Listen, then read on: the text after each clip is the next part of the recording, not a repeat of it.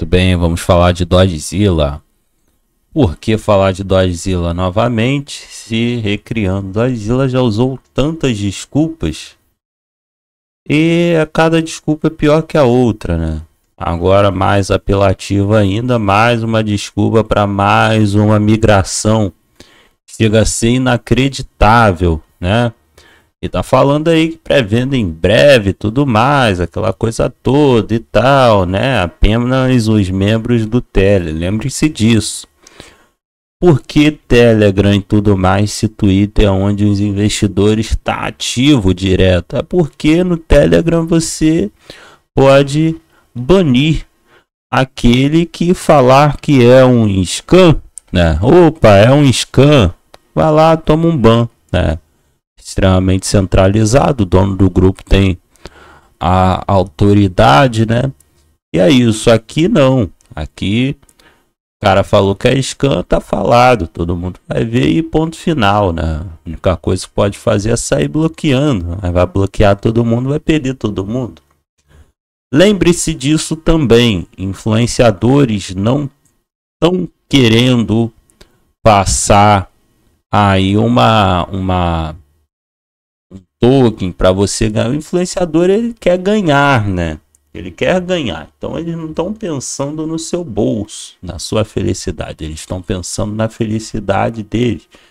Por isso que você vê influenciador falando, ah, fazer uma parceria, me chama no privado. Por quê? Porque depois esse mesmo influenciador, olha gente, um token maravilhoso que eu tô ganhando muito e tal, vai começar a mentir, induzindo a pessoa, as pessoas ao erro, né?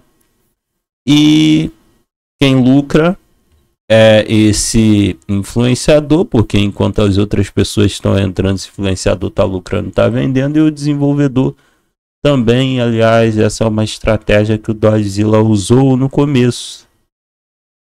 Agora ele parece estar tá meio sem dinheiro, não está querendo mexer nos bitcoins dele, que a gente sabe que o Dodgezilla aplicou aí grande parte tudo em bitcoin, ficou lá, né, tirando seus lucros. E aqui ele passou ali para dizer Bitmart e a braba do México. Vai ter gente falando, ou seja, tem plataforma de negociação se envolvendo, né? Se envolvendo. Então vai dar bom e tal. Pode dar bom no começo. E depois? A gente sabe que as plataformas de negociação também não tá pensando em te realizar. As plataformas de negociação querem volume, né? E querem volume, quer a galera jogando grana lá, movimentando grana lá, dá uma boa colocação, no final das contas consegue uma boa parceria. Então é toda uma estrutura, toda uma concorrência trabalhada em cima disso. Que não está pensando em você, mas eles vão dizer que estão pensando em você. Então, não fique surpreso também se você observar esse grande scan recebendo listagem. Eu recomendo que você observe de longe, né? Fica observando os detalhes que ele vai usar mais uma vez aí para enganar a galera.